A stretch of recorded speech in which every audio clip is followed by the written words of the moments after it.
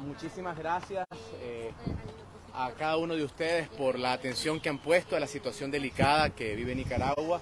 Ustedes comprenderán que precisamente por esa situación eh, tenemos que ser eh, prudentes en cada cosa que en este momento digamos.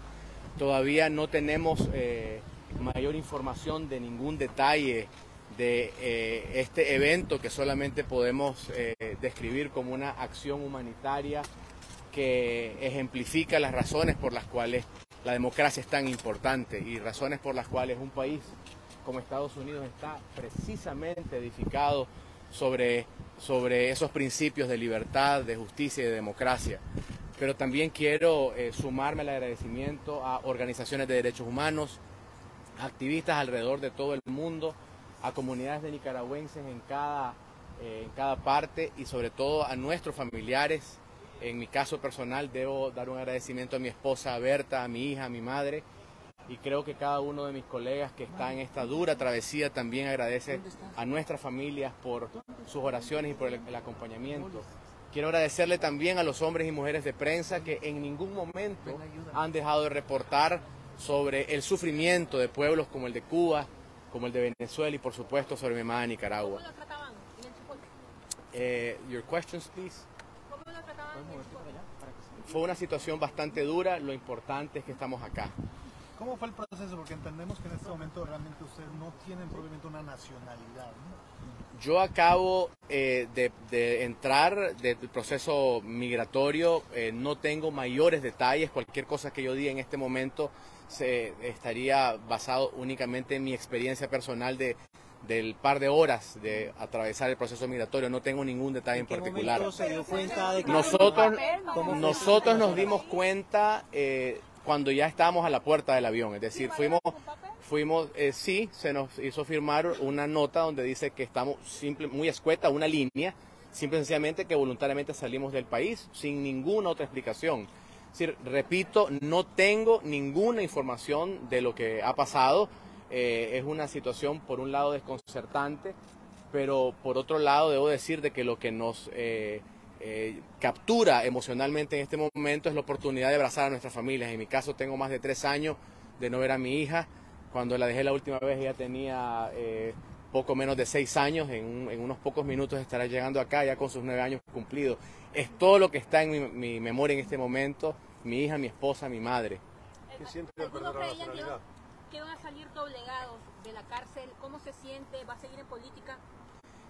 Yo he dicho y, lo reitero, mi eh, lucha individual, al, igual que la lucha colectiva, diré no solamente de miles, sino de millones de nicaragüenses, no es por política, es precisamente por la construcción de una nación de justicia, de libertad y de democracia, por un mundo en donde todas las personas podamos eh, convivir eh, en un marco de respeto. ¿Ustedes tenían alguna sospecha de que algo estaba negociándose? ninguna, ninguna. Eh, como reitero y lo digo con, con, la mayor transparencia posible, no teníamos absolutamente ninguna información de que algo podía pasar. De hecho, y solo puedo darles la experiencia personal, dado que el aislamiento individual de cada uno de nosotros era extremo, no teníamos acceso absolutamente a ninguna noticia del exterior. No, no puedo dar más comentarios eh, más allá de eso. suyo se transportó? ¿Lo transportaron solo a usted o No, nos transportaron al... Eh, existen o existían, no sé si este, supongo que estamos todas las personas que estaban detenidas pero estamos en distintos recintos, en distintos lugares de, Nicaragua, desde la capital. ¿Cómo fue su trato, cómo fue el trato suyo a usted y a sus compañeros en la prisión? Yo no quisiera referirme en este momento, nos han recomendado que por distintas razones que ustedes comprenderán, seamos prudentes en ese aspecto. Solo debo decirles que es una situación muy dura que no se la deseo a ningún ser humano y a veces hay decisiones que uno las toma precisamente por sus principios.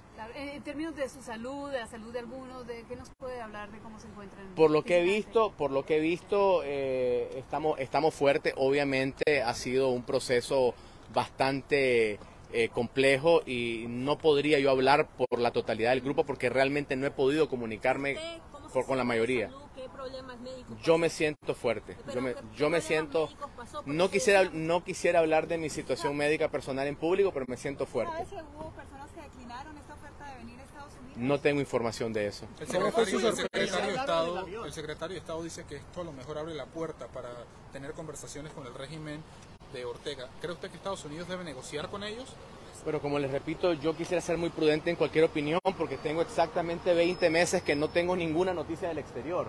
Ustedes comprenderán, eh, para quienes conocen con detalle la situación de los presos políticos de Nicaragua, el aislamiento, particularmente en el centro de auxilio judicial, conocido como el Chipote, es un aislamiento verdaderamente extremo.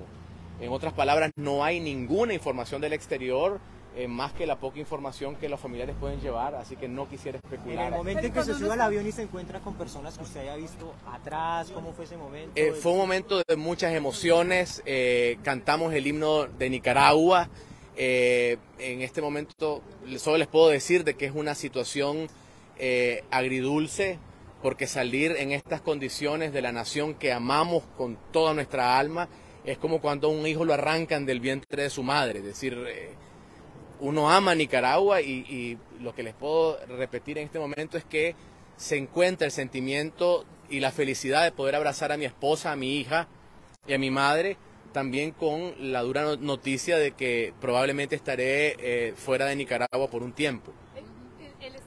Tres años, durante esos tres años seguramente tuvo tiempo de pensar qué hacer, qué iba a pasar con su vida. Ah, eh, ¿Le está llegando todo eso en este momento? ¿No ha tenido tiempo de...? Es, es, un poco surreal esto que estoy viviendo. Yo solo les puedo decir de que es una situación que no se la deseo a nadie. Eh, creo de que hay humanidad aún en los lugares más extremos. Encontramos, por lo menos en mi caso personal, eh, a personas que trabajaban dentro de esas instalaciones que que claramente son nicaragüenses al igual que yo, con aspiraciones, con deseos, con, con, temores, probablemente con una familia, con una niña al igual que la mía, eh, con una madre, eh, con abuelitas, y el sistema no nos permitía tener ningún tipo de intercambio o conversación, pero eso solamente me hace reflexionar sobre la importancia de poner encima de cualquier diferencia política o partidaria la esencia de la humanidad, la dignidad de la persona humana sobre todo. Esa es la mayor reflexión que yo podría dar en este momento. Entonces, aclarando, ¿usted firmó un papel donde simplemente decía que salía del país o que renunciaba a la ciudadanía? No, en ningún momento se decía que renunciaba, simplemente que estábamos saliendo voluntariamente del país. Una sola línea. ¿Cómo se siente al saber que, que le ha quitado la nacionalidad? Bueno, usted es la primera persona que me lo ha mencionado. No, es que hubo una rueda de prensa. La, la Asamblea Nacional cuando venían viajando hablaban Ah, sí, no, no, como les repito, eh, y lo hago eh, desde la mayor transparencia, no con el ánimo de evadir eh, preguntas. Me habían solicitado algunos colegas que saliera a responder preguntas, pero no, es, no, no he leído ningún tipo de, de noticia exterior. no podría ser más comentarios. ¿Cuándo se encuentra con su familia? Entiendo que ya vienen del aeropuerto hacia acá, así que estoy muy emocionado. Exacto. Eh, la Asamblea Nacional aprobó una reforma al artículo 21 que, este, que significa que, lo, que y dice textualmente ahora el artículo 21 de la Constitución que los traidores a la patria pierden la calidad de ciudadanos nicaragüenses. ¿Qué significa para eso? yo, yo, yo, yo, creo que, que son palabras, eh, son palabras, la, la nicaraguanidad se lleva eh, yo diría que hasta espiritualmente, o sea, no es un asunto de una ley aprobada por la Asamblea. Yo seré nicaragüense hasta el día que me muera y voy a seguir amando a Nicaragua eh, no solamente como la nación donde nací, sino como la tierra que deseo ver en, democracia. Para NTN 24, ¿usted qué opina que en ese avión, por ejemplo, viniera Chino de Noc también, sandinistas?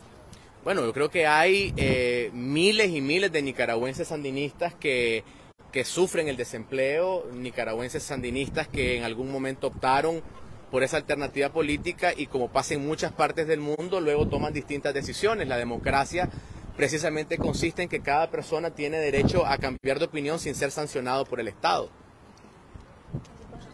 Bueno, yo les, yo les quiero agradecer muchísimo, eh, debo eh, regresar y nuevamente eh, enfatizo mi gratitud por la defensa a la libertad de comunicación y de expresión que ustedes han hecho. Les quiero recordar que gran parte de las personas privadas de libertad han sido por ejercer la libertad de prensa en Nicaragua. Hay periódicos como La Prensa cerrados, como 100% Noticias, muchas radios, sacerdotes y religiosos de distintas denominaciones por su libertad de expresión.